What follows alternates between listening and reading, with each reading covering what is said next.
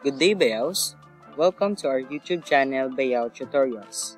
In this video, we are going to solve a problem in Chapter 5, Fundamentals of Fluid Flow from Fluid Mechanics and Hydraulics Revised 1st Edition by Jack B. Evett and Cheng Liu. So, the previous chapters deals only with fluids at rest in which the only significant property used is the weight of the fluid. In this chapter, we will deal with fluids in motion, which is based on the following principles.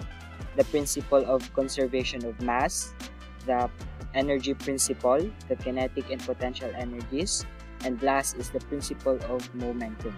So let's proceed. In the rectilinear chamber of figure 8-5, section 1 has a diameter of 4 inch and the flow in is 2 CFS. Section 2 has a diameter of 3 inches and the flow out is 36 VFS average velocity.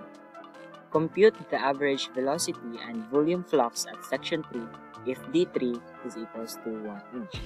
So before we solve our problem, we need to identify first the given values in this problem.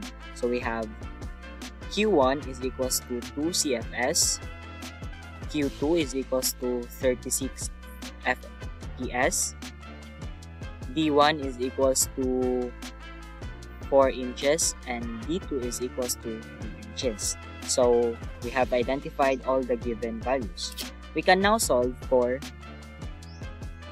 the average velocity and the volume flux at section 2. So our formula here is Q1 is equals to Q2 plus Q3. So let's assume that Q3 is flow out. So Q1 is equals to Q2 which is also equals to area times velocity plus Q3. So plugging all the given values we have 2 equals to pi times 3 over 12 squared divided by 4 times 36 plus Q3. So by simplifying this equation, we get negative 1 1.76 plus 2 is equals to Q3. We have the value of Q3 is equals to 0.233 CFS. Now we have the value for Q3, we can now solve for the, the volume. So V is equals to Q over area. So plugging all the given values, we have 0.233 divided by pi times 3 over 12 squared divided by 4.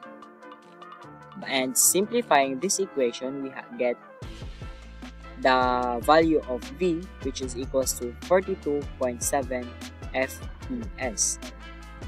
Now we already compute the value of Q3 which is equals to 0.233 CFS and the value of V which is equals to 42.7 FPS. So that's it. I hope you learned something from this video. Thank you.